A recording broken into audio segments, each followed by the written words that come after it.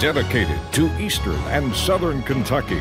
This is WYMT Mountain News Weekend Edition. Good evening and thanks for joining us tonight. I'm Macy Marie. The Mountains Arts Center in Prestonsburg hosted their 29th annual Billie Jean Osborne's Kentucky Opry tonight. From blues to gospel, there's a little something for everyone. WYMT's Marianne Fletcher talked with organizers about why this year is so special. Music from the mountains is special. There's so much talent here in eastern Kentucky and specifically uh, throughout Prestonsburg and, and, this region. The skill it takes to put on a show for Billie Jean Osborne's Kentucky Opry.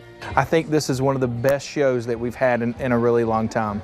From the junior pros proving big talent also comes in small packages. To the older generations. Opry director Clayton Case says there's a wide range of music genres. And so we have gospel music, we have Motown music, uh, we have country music. And even some comedy from Fred Monroe Goebel. I want to say that I've been in love with the same woman for 54 years. Uh, if my wife ever finds out about it, she's going to kill me. for 29 years, keeping people coming back. It's completely awesome year after year. I don't like it. I love it. In Floyd County, Marianne Fletcher, WYMT Mountain News. Around 350 people packed the MAC tonight, and if you missed the show, don't worry, we have a full schedule on our website, WYMT.com. You can head over there to check it out. The London Laurel, the London Corbin Airport hosted their annual Airplane Day today, with activities going on all around the airport. Nothing about this day was, well, plain. Airplane and helicopter rides were available around the city of London, and the portion of the money raised today goes to the local United Way summer food program. It's basically a way for the for the city around here for the people in the area to come out and see what's at the airport. Um, there's so many people around here that don't even realize the airport's here that we just want to get the word out and we're trying to get the word out. Singer says visitors are welcome to stop by anytime for a tour of the airport and can check out some of their on-site planes. An addiction recovery group from Winchester, Kentucky, Achieving Recovery Together and Spark Ministries in Hazard hosted an event in downtown Hazard today. They called the event Rumbles of Hope, supporting those who struggle with addiction. Live music, food, and games were provided to bring the community and those struggling together. Recovered addicts also gave their testimonies to those attending.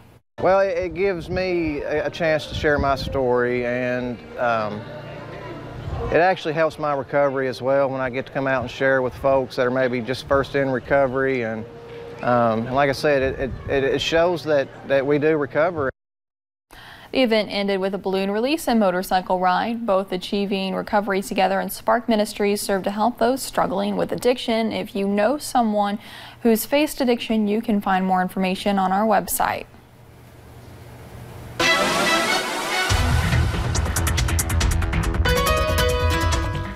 Hazy, hot, and humid today, and it's going to stay muggy all night long, but a beautiful sunset over at UVA Wise. Let's take a look as we take a look at the camera time lapse for the last few hours. Look at that, sundown, night here as we head into the 11 o'clock hour. I-64, a nice day up that way. No rain, just a few clouds mixed in, and now a little bit of uh, dark skies as we head across the region. Live input Doppler radar.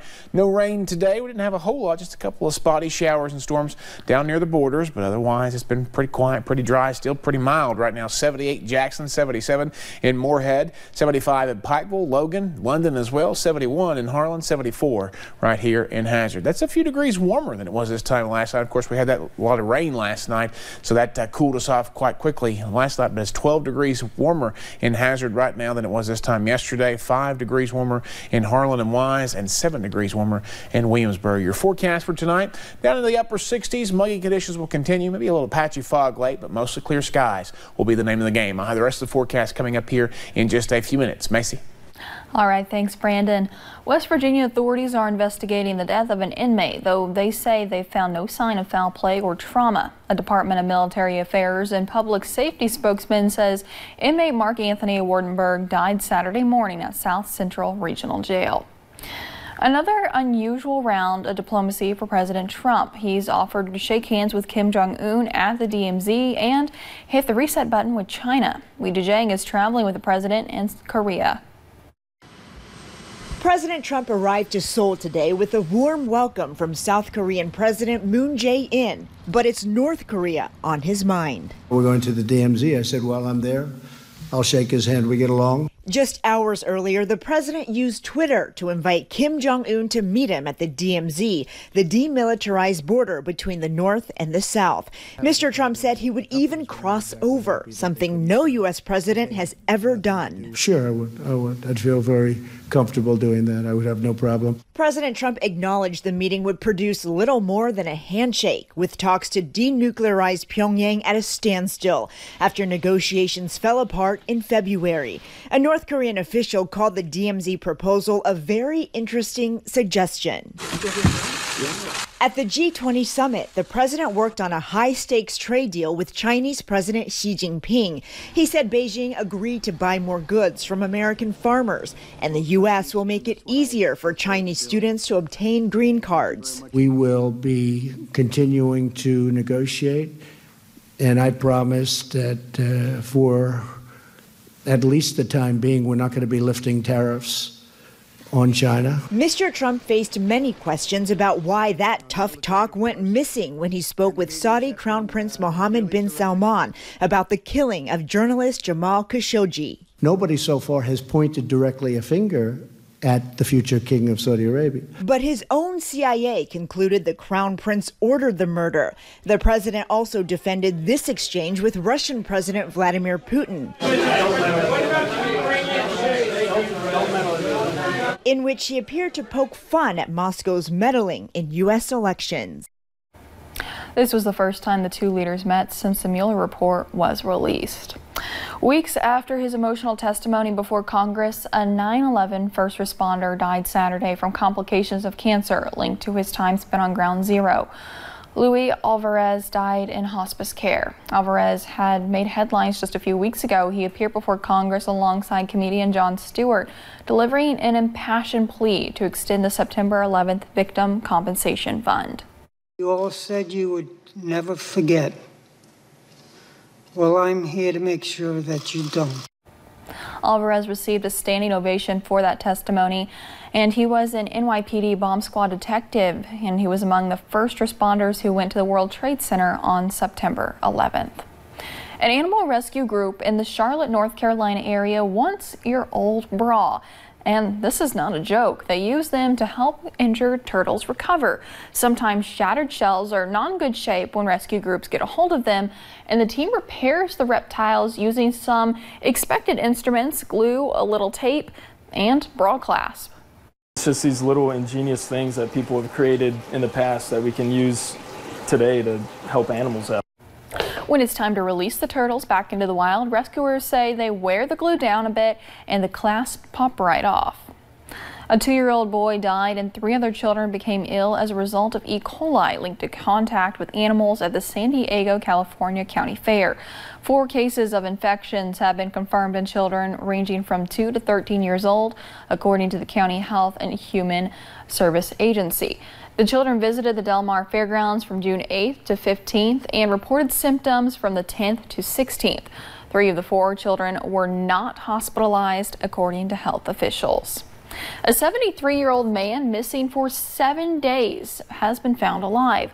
The hiker became separated from his friends last Saturday, and rescuers have been searching a forest which spans 700,000 acres. He was hiking with his friends in the Angeles National Forest when he fell behind. And Eugene Joe was able to follow a creek and stayed alive by drinking from it. After being found, he was airlifted to a local hospital and he's expected to be okay. The Minister of Tourism and International Transport has confirmed that the search for the Americans missing from Barbados will be called off at sunset tomorrow. Teams from the Barbados Coast Guard, Police, Marine Unit, RSS, and now the U.S. Air Force continue the search for 25-year-old Magdalena DeVille and 32-year-old Oscar Suarez. The couple disappeared on Monday after renting a jet ski. I understand it in matters of this nature, the international best practice is to do a search for at least three days. Um, we have given the commitment and we are undertaking a search that goes well beyond that period. It will really go into six days. But it is a very large ocean out there, and you know, you come to a point where mankind in its frailty can do no better. Officials are asking Barbadians to be mindful of the couple's family who are on the island still. Coming up at 11, in Utah, police found the remains of a missing college student. We'll have the latest on the details of that investigation. June wraps up tomorrow and the month of July starts just as hot as we've had this week. I'll have your holiday week forecast in just a few minutes.